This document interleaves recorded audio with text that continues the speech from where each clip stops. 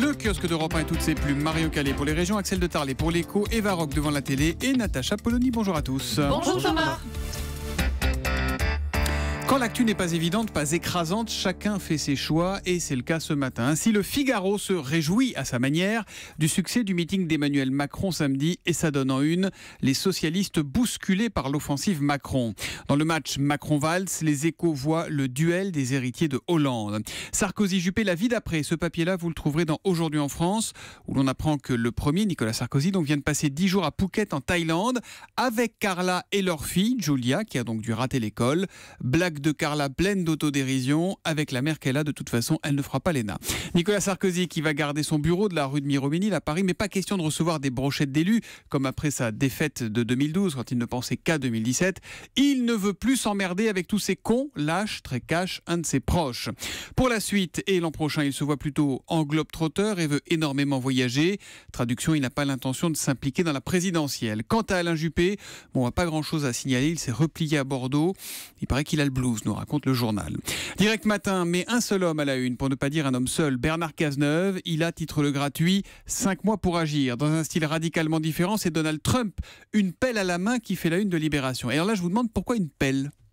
Parce qu'il va planter un arbre dans Central Park. Pas du tout. Ah Parce qu'il est question de conflit d'intérêts, en clair à cause du mélange des genres entre son immense empire immobilier et financier et son job de président des États-Unis. Un empire qui pourrait peser lourd sur la diplomatie américaine. Et puis la croix titre sur la guerre sans fin en Syrie et nous avertit la chute prochaine d'Alep ne signifie pas la fin des combats. Précisons au passage que Daesh a repris Palmyre. Mario Calais, 3 une dans la presse quotidienne régionale. Un dimanche d'achat à la une du journal de Saône-et-Loire. Rush sur les jouets avec parfois apparemment des clients un peu nerveux, souligne le quotidien.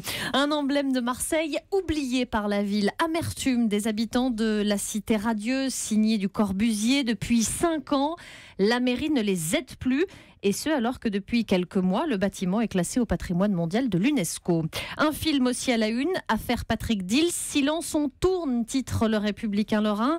Celui qui a été accusé du double meurtre de Montigny-les-Metz avant d'être innocenté assiste au tournage de ce film en ce moment qui retrace son histoire avec notamment dans le rôle de sa mère Mathilde Seigny. L'histoire du jour est étonnante, c'est celle d'un sanglichon. Oui, ou d'un cochon glié. Le nom varie selon que la reproductrice est une lait ou une truie. En tout cas, c'est un croisement entre un sanglier et un cochon. Une hybridation interdite, raconte le progrès, et pourtant pratiquée par certains éleveurs qui veulent augmenter leur tableau de chasse à l'automne. Le problème, c'est que parfois ces animaux restent dans la nature. Cinq de ces sanglichons ont donc été tués en juillet en Haute-Loire. Élimination obligatoire, explique un chasseur, pour éviter la dégénérescence de l'espèce. Une prolifération pourrait tout simplement venir polluer la pureté génétique des sangliers. D'ailleurs, ces animaux hybrides semblent présenter un comportement plus domestique que sauvage. Fin juillet. Le sanglichon n'est pas chonchon. Euh, les habitants d'un village ont nourri une de ces bestioles, autrement appelée un cochon glié, pendant une dizaine de jours. Il n'y a pas des photos Il y, a, des photos dans le journal. On va vous les mettre sur europe On va les mettre sur europe 1.fr. Le portrait du cochon glié et du sanglichon, ça vaut quand même le petit coup d'œil. Axel de Tarlet, retenu à la source, l'épargne retraite Davis. C'est un papier qui vous a passionné dans le Figaro. Alors, le défi, c'est de faire simple quand on parle de prélèvement à la source et d'épargne retraite. Donc, je vais essayer. Alors, l'épargne retraite, le principe, c'est que vous mettez de côté pour votre retraite et vous avez une petite carotte fiscale. Comment ça marche? Imaginez, vous gagnez 20 000 euros par an. Si vous mettez 1000 euros en épargne retraite, eh bien, vous ne serez taxé que sur 19 000 euros. Donc, vous voyez, donc vous payerez moins d'impôts. C'est ça la carotte fiscale.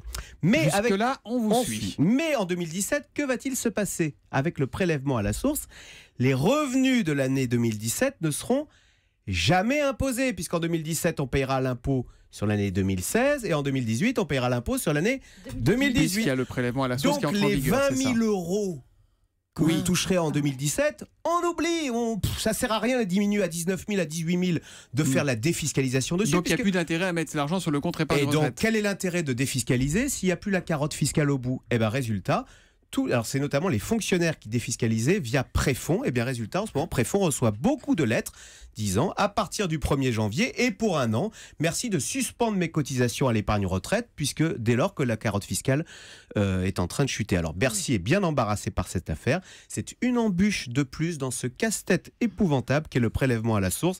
Vous savez que la droite a prévu euh, de l'abroger si elle arrive aux affaires.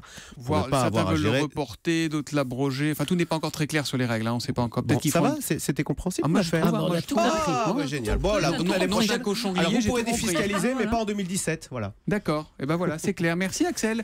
Paris Première, dis donc, 30 ans déjà Eh Paris. Première. Soirée en clair sur Paris Première à partir de 20h45. Oui, et ils seront nombreux à être présents pour euh, fêter cet anniversaire de la chaîne qui est née le 15 décembre 1986. Une émission en clair et en direct, alors avec Thierry Ardisson, Laurent Baffy, Frédéric Taddy, enfin tous ceux qui ont participé à l'histoire de cette chaîne. C'est l'occasion évidemment de revoir des moments cultes, comme cet extrait du Jean Ederns Club. C'était Jean Edernalier qui parlait politique et littérature il était très énervé par un livre de François Mitterrand et il a décidé de noyer le livre dans un bocal. Voilà un bocal, voilà le livre de Mitterrand. Nous allons donc, nous allons le noyer dans l'eau de son régime, l'eau de Vichy. Oh là, C'était- violent. Eh oui, c'était un Oui, peu oui. violent déjà. Alors aujourd'hui, on parle toujours de culture et toujours avec la même irrévérence, comme dans Sa balance à Paris, par exemple, qui est présenté par Eric Nolot. Alors après avoir changé plusieurs fois d'animateur, les chroniqueurs n'hésitent pas à étrier les livres, les films et les pièces de théâtre. C'est exaspérant, c'est pas drôle, c'est chiant. C'est d'une connerie sans nom, une grosse marde. le genre de littérature qui, qui me fait vomir. Voilà, c'est ce qu'on peut entendre à l'antenne. ouais.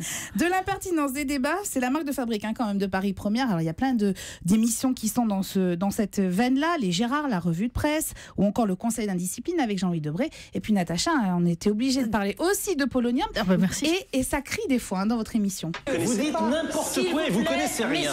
Rien du tout. Vous connaissez ni le football ni le sport. Vous ne connaissez rien à ce dont vous parlez. Vous avez raison. Vous avez rien. Vous avez raison.